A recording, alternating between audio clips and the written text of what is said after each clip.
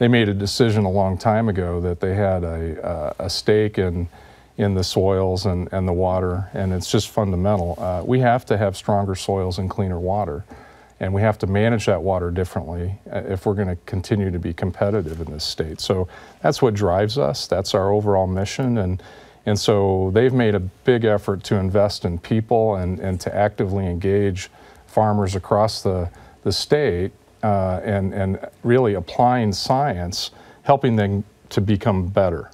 And, and that's the overall reason. We're trying to be better at producing, to be profitable, and to take care of our natural resources. Do you agree that there's a need for $4 billion and what percentage of that should go toward these cost share agreements with farmers? Yeah, it's a shared investment. And, and so farmers are going to be investing their dollars each and every, and they do now.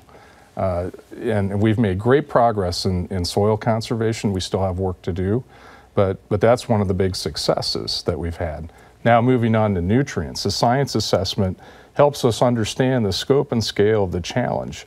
The fact that we're so nutrient rich in this state and that we have the infrastructure to produce, and then we have this rainfall that fluctuates, we have dry years and wet years, and, and farmers are, are farming in the face of that weather.